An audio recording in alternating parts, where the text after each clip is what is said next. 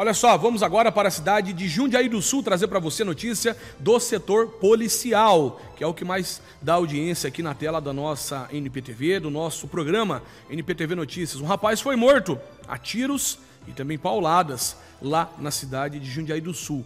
Nas imagens para você, a partir de agora, você pegando todos os detalhes aqui na tela do nosso NPTV Notícias. De acordo com informações da Polícia Militar, um rapaz de 22 anos foi morto a tiros aí, golpes de pau na madrugada da última terça-feira, dia 10, tá bom? O caso aconteceu lá na rua Augusto Gaudêncio, na cidade de Jundiaí do Sul. De acordo com informações da Polícia Militar, ele tinha o hábito de sempre ir à casa de sua tia para tomar um café pela manhã, mas ele não apareceu lá.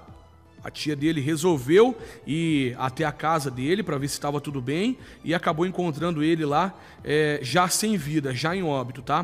Polícia Militar, Polícia Civil foi acionada para este caso, para constatar justamente esse óbito, tá ok? Lá no quarto foram recolhidos aí dois é, estojos aí de calibre 9 milímetros e também a peça e o pedaço de pau que foi usado aí para cometer o crime, tá bom?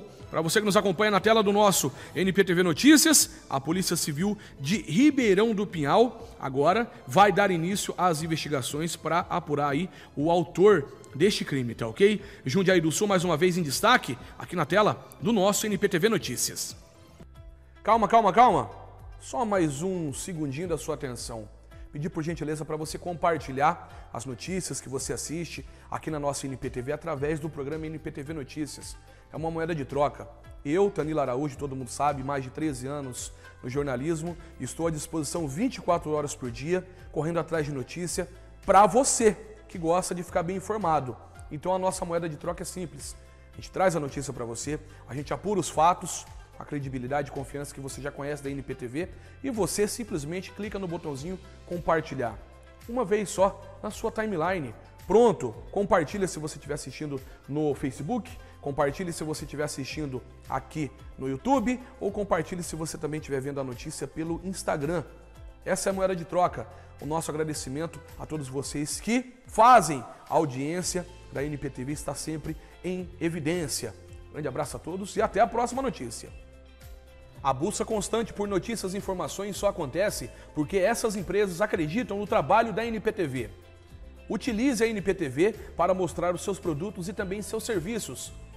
Faça da NPTV mais uma vitrine de exibição do que você tem a oferecer para o seu potencial cliente. São mais de 500 mil pessoas alcançadas todos os meses. Anuncie agora mesmo pelo telefone 43 9 9628 1618. A NPTV tem o plano ideal que se encaixa no orçamento da sua empresa ou do seu negócio.